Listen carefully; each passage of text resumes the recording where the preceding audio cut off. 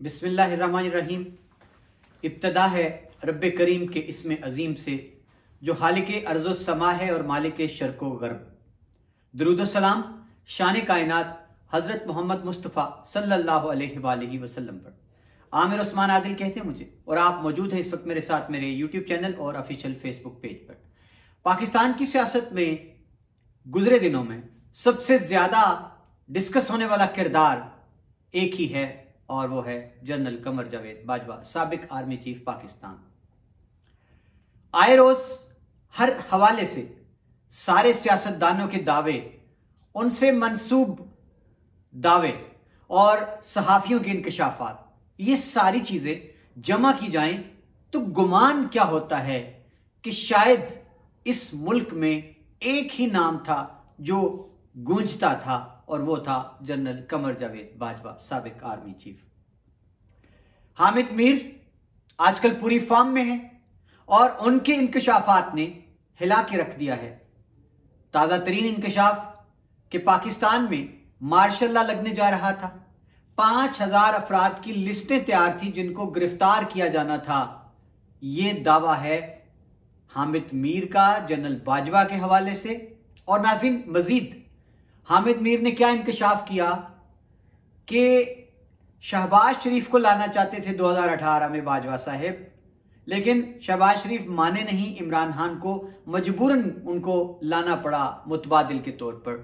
और एक और बड़ा दावा है कि chief election commissioner Sikandar Sultan Raja, उनको जनरल बाजवा ने क्यों उनसे कहा आप इस्तीफा दें या फिर आप इलेक्शन करवाएँ? और उन्होंने इनकार कैसे कर दिया? कैसे उनमें ज़रूरत आई उनको ना करने की? यह है मेरी आज की इस खसूसी वीडियो का मौजू। खबर कुछ यूँ है, हामिद मीर, उन्होंने एक कॉलम लिखा है और उस कॉलम में उन्होंने जो दावे किए हैं, जो इंकशाफात किए हैं, जो खुलकर बातें लिख दी हैं, उन्होंने पाकिस्तान की सियासत में एक नई बहस छेड़ दी है। उनका यह कहना है कि फवाद चौधरी ने यह दावा किया कि इमरान खान ने इस मुल्क को मार्शल्ला से बचाया और दलील इस बात की यह कहकर दी कि अगर सदर आरिफ अलवी नए आर्मी चीफ की तकर्री पर दस्तखत ना करते तो एक मुल्क के अंदर ऐसा बहरान जन्म ले रहा था जिसके नतीजे में मार्शल लगाने की तैयारियाँ मुकम्मल थी। हामिद मीर कहते हैं कि एक तरफ़ जनरल बाजवा दूसरी बार एक्सटेंशन लेने के लिए तगोदो कर रहे थे। और दूसरी जानब उन्होंने नाम नहीं लिखा, लेकिन इशारा दे दिया है कि एक और साहिब थे जो नून लीग और पीपल्स पार्टी की क्यादत को यह बावर करा रहे थे कि अगर मुझे मौका दें आप, मुझे आर्मी चीफ बनाया जाता है तो मैं इमरान खान को नेस्तो नाबूद कर दूँगा और मेरा फैज गैर मशरूत होगा। अब आप समझ गए होंगे किसकी जानब इशारा है। और नाजिन आगे चलकर हामिद मीर लिखते हैं कि वाकई हालात ऐसे थे। समरी जो भेजी जानी थी ईवान सदर और उससे पहले वज़ीर आज़म हाउस में जी एच क्यू की जानब से, नए आर्मी चीफ की तकर्री के लिए, उसमें पूरी तरह से जानबूझकर ताखीर की जा रही थी। और गुमान यही था कि सदर को मना कर देंगे इमरान खान आपने इस समरी पर दस्तखत नहीं करना है। नतीजा क्या निकलेगा? हालात बिगड़ेंगे और मार्शल्ला लग जाएगा। हामिद मीर ने अपने इसी कॉलम में लिखा है, मार्शल्ला किसने लगाना था? ज़ाहिर है, जनरल बाजवा नहीं लगाना था। और मैं उनकी ज़ुबान से मार्शल्ला की तकरार का ज़िक्र एक बार नहीं, दो बार नहीं मुतद बार सुन चुका हूँ। और जनरल बाजवा की एक दरीना ख्वाहिश है कि पाँच हज़ार अफराद को लटकाना है। और यह ख्वाहिश अक्सर उनके लबों पर मचलती थी, लेकिन अंगड़ाई लेकर दिल में सो जाती थी। और इस ख्वाहिश का इजहार उन्होंने एनडीयू, नेशनल डिफेंस यूनिवर्सिटी में अपनी रिटायरमेंट से पहले कई घंटों का जो खिताब था, उसमें भी ये बात दोहराई और कहा, पहले उन्होंने कहा कि जमहूरियत और फिर कहा कि पाकिस्तान में मार्शल्ला लगाना बहुत आसान है।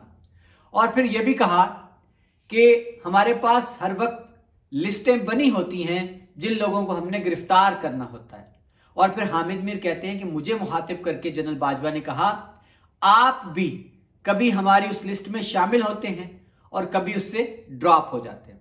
और इस मौका पर वो कहते हैं कि सहाफियों पर जनरल बाजवा ने खुलकर गुस्सा निकाला और कहा कि मसला कश्मीर जब भी हल होने के करीब लाते हैं तो आप शुरू कर देते हैं कश्मीर फरोशी का चूरन बेचना। और यहाँ उन्होंने ज़िक्र किया साफियों की तनहाओं का और कहा कि आप बहुत ज़्यादा तनहाएँ लेते हैं, टैक्स नहीं देते। इस पर नसीम जहरा, जो कि खातून एंकर हैं, उन्होंने जनरल बाजवा को टोका और कहा कि आप अब सबूत भी दें। इस पर जनरल बाजवा गुस्से में आ गए।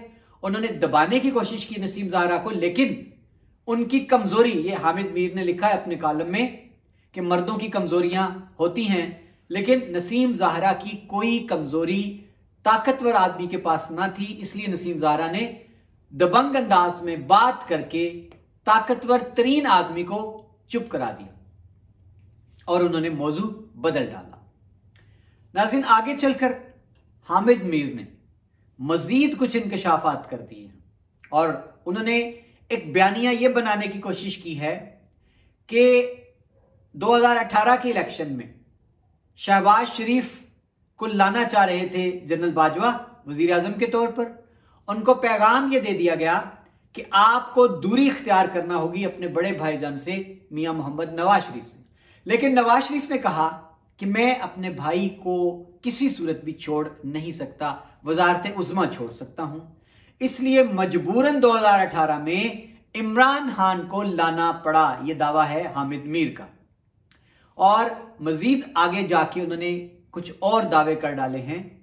उनका यह कहना है कि अदम एतमाद की जब तहरीक आई तो जनरल बाजवा को धोखे में रखा पीडीएम ने और इमरान खान यह समझते रहे कि रजीम चेंज सारा कुछ किया धरा जनरल बाजवा का है। लेकिन ये एक सरप्राइज़ था बफाहमत के बादशाह आसिफ अली जरदारी का, जो उन्होंने जनरल बाजवा को भी दे डाला। और नाजिन, हामिद मीर कहते हैं कि जब अदम एतमाद की तहरीक आ गई तो जनरल बाजवा ने जो बंदे रखे हुए थे, प्राइवेट, उनकी जानब से पैगाम पीडीएम के लीडरों को जाते रहे कि आप इमरान खान का साथ नहीं छोड़ेंगे, अदम एतमाद की तहरीक कामयाब नहीं होने देंगे। इस पर पीडीएम की क्यादत सर जोड़कर बैठी और उन्होंने जब रबता किया, उनको जवाब यह मिला कि बतौर इदारा हम सियासत से तोबा कर चुके हैं। लेकिन आर्मी चीफ अपनी जाती हैसियत में अगर कोई पैगाम भेज रहे हैं तो यह उनका मसला है। हमारा मसला नहीं है। और यहाँ हामिद मीर ने खालिद मगसी को कोट किया है, जो बलोचिस्तान से बाप पार्टी के बलोचिस्तान अवामी पार्टी के एमएनए हैं, कि उनको बुलाया गया, कहा गया कि आप वापस जाएँ और इमरान खान के कैंप में बैठ जाएँ। तो खालिद मक्सी ने कहा कि आपने खुद ही तो हमें कहा था, और अब हम कैसे वापस जाएँ? और इस पर हामिद मीर का दावा है कि खालिद मक्सी ने कह दिया कि आपने मार्शल्ला लगाना है तो लगा दें। लेकिन हम पीछे नहीं हटने वाले। और हामिद मीर ने यह फिक्रा लिखा है कि बाप तो बाप की बाप निकली। और नाजिन मजीद, हामिद मीर ने एक और दावा किया है इंकशाफ नुमा वो कहते हैं कि Sikandar Sultan Raja, chief election commissioner of Pakistan. उनको जनरल बाजवा ने कहा कि आप फौरी इलेक्शन की तारीख दें मुल्क में, या फिर इस्तीफा दे दें। लेकिन सिकंदर सुल्तान राजा डट गए। उन्होंने इनकार कर दिया। उन्होंने ना कर दी एक तगड़े ताकतवर तरीन आदमी को। ये ज़रूरत उनमें कैसे आई? क्यों आई? हामिद मीर ने कहा है कि मैं इस पर फिर किसी वक्त बात करूँगा। तो नाजिन, ये हैं वो सारे मरूजी हालात जो मैंने आपके सामने रख दिए हैं। हामिद मीर ने जो बेशुमार दावों पर दावे पिंदार खोल दिया है एक नया, एक पिंडोरा बॉक्स खोल कर रख दिया एक नई बहस छेड़ दी है सियासी हल्कों में। क्या कहते हैं? कि मार्शल्ला लगने का इम्कान था, अगर आर्मी चीफ की तकर्री की समरी सदर आरिफ अलवी मुस्तरद कर देते। और अगर मार्शल्ला लगता तो पाँच हज़ार अफराद की लिस्टें तैयार थी जिनको गिरफ़्तार करके लटकाना था। क्योंकि ये जनरल बाजवा की दरीना एक ख्वाहिश थी।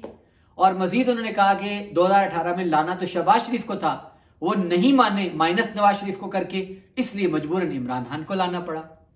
तो नाजिन ये हैं, वो बड़ी बातें जो हामिद मीर ने अपने कॉलम में भी की हैं। कुछ दिन पहले उन्होंने एक कॉन्फ्रेंस में भी ये बातें खुलकर की हैं और अब वो त्वातर से बोलते चले आ रहे हैं। और नाजिन यहाँ एक और दिलचस्प बात है। एक तरफ़ हामिद मीर ये दावे कर रहे हैं और दूसरी जानब यही दावे किसी और अंदाज में भी किए जा रहे हैं कि सारा प्लान जो था अदम एतमाद की सेज जो सजाई थी, वो भी दावा किया जा रहा है। तो अब आने वाले दिनों में मजीद देखना है कि इस्टेब्लिशमेंट क्या हामिद मीर और कुछ दिन पहले पिशावर में अमल वली कांस जो हैं, उन्होंने भी बड़ी काबिल एतराज़ ज़ुबान इस्तेमाल की है इदारों के हवाले से। आज मौलाना फजल रहमान भी खुलकर बरसे हैं। तो देखना यह है कि अब ये क्या कोई एक नई मुहिम है और अगर ये मुहिम है तो टारगेट क्या? है बहुत शुक्रिया। अपना ख्याल रखिएगा। आज के लिए इतना ही। मिलते हैं अगली वीडियो तक। मुझे दीजिए इजाज़त। अल्लाह हाफिज़।